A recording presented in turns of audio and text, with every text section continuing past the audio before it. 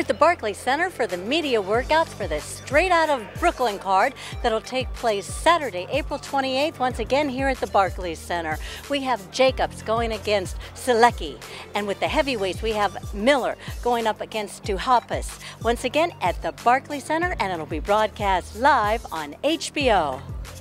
It's just being a professional inside that ring. When the bell rings, you know you have a job to do. Anything outside is that is a distraction. So staying focused and staying level because I have a guy in there who's trying to take my title, who's trying to take and get all the glory. So I have to make sure I'm prepared for that and that alone.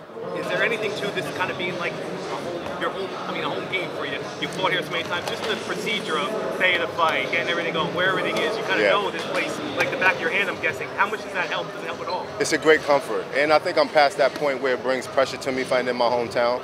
Uh, I believe it adds more of a motivation factor than anything. Uh, to see my family and friends and everyone in the crowd supporting me, to hear that Brooklyn chant, it is nothing better than that when you're a Brooklynite. Uh, putting on a show, how, how high on the list of priorities is that? Very high on the list of priorities. Uh, the fans want to see knockouts. Obviously, the fans love great shows, which I try to put on every time I go out. With the last performance, I, I got a decision. But this one, I want to go for the glory. I want to go for the knockout. Whether it comes, it comes. I, I mean, a victory is assured, in my, in my opinion. But at the same time, I mean, fans, I got to give them what they want. They're paying customers, and they allow us to have, uh, you know, the career that we have. Thank you. It's been over years since the GG fight, G fight, yeah. where a lot of people thought you fought well enough to win. Yes, sir. Has it been hard to kind of get back to that level and get on that horse again? Uh, in in what way? Well, just just to get back to that because the Arias fight, I know he didn't make much of a fight, but but it's been a while since then.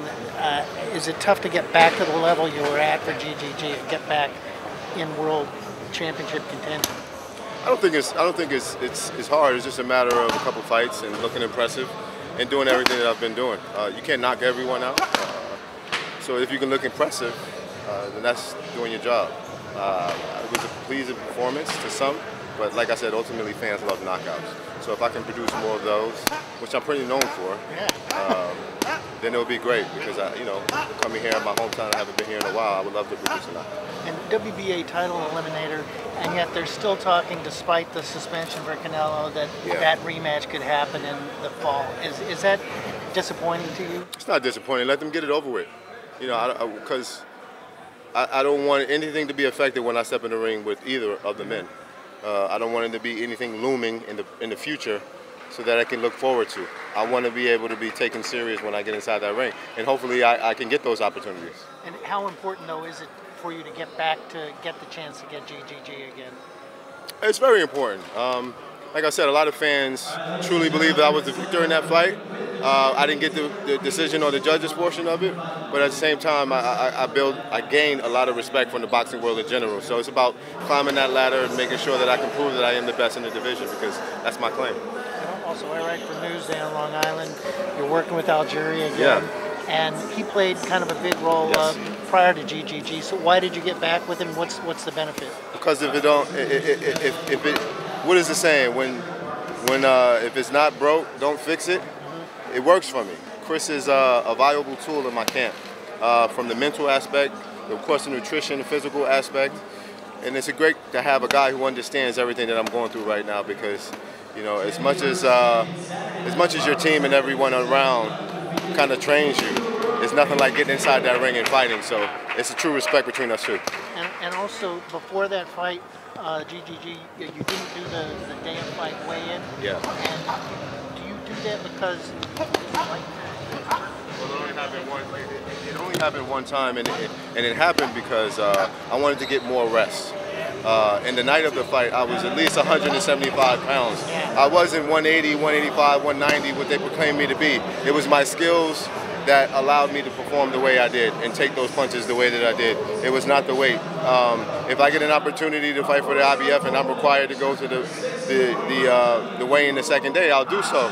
Uh, but I was fighting for numerous belts, and at the end of the day, when you're fighting Triple G, who is the number one guy in the in the division, a victory over him, whether it's two belts, three belts, or one belt, you know, I'll still be considered the best. So that that's what that was about. Okay, I just didn't know if it was kind of tailored to. No, it's not. It's not more power shots.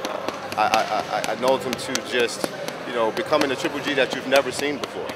So, I mean, and, and quite frankly, if you are 185 pounds or you are 190 pounds the night of the fight, you're not going to look as fluid as I did in that ring. I'm going to be slow, I'm going to be sluggish, and I'm not going to fight as crisp as I did that night. Thank you. No, I, yeah, I said that. When the Canelo fought, uh, fight fell through with Triple G today, how to uh, place that main pay No, they never reached out to me. I never got a phone call. I wasn't expecting a phone call. Um, the short notice, I knew that they wasn't gonna. It's too risky. I was training already. I was preparing for a fight. Um, I'm never gonna receive a phone call whatsoever. Uh, but if I got that opportunity, like I said before, who knows what it'll happen. But at the end of the day, I never got that phone call. And um, they're not even talking about a potential fighter with me in the future, so that answers that. How does that make you feel, though? But they're not even talking about the potential fight in the future. What are your Um, thoughts on it? I mean, it, I don't really have no really true feelings about it because the, I'm a mandatory now, so it's only a matter of time, and these guys can't run forever. So I do my job come Saturday night, and uh, the rest will speak for itself and take care of itself. How do you feel about Jermall Charlo saying he's going to get in the ring with you after the fight? If Well, first he has to ask to get in the ring. He just can't proclaim, and it's a difference. I would. This is boxing, right? From the history of boxing, a lot of fighters have gotten in the ring and, and, and done the whole face-off, and there's been in respect. But he has come into Brooklyn, and he has said he's the king of Brooklyn and disrespect me in my hometown. So that won't happen. I- I- he has to ask me first. It has to be approved first. And that's what, if it was a regular guy who had respect or who just say, I'm better than him, I want to fight him, yeah, you can get in the ring, we can do the whole classic thing, but when you disrespect me and you come into my hometown, you don't get those privileges. I'm Kristal Hart reporting from the Barclays Center here in Brooklyn, New York. Hope you've enjoyed the show. Thanks for watching, and we'll see you at the fights.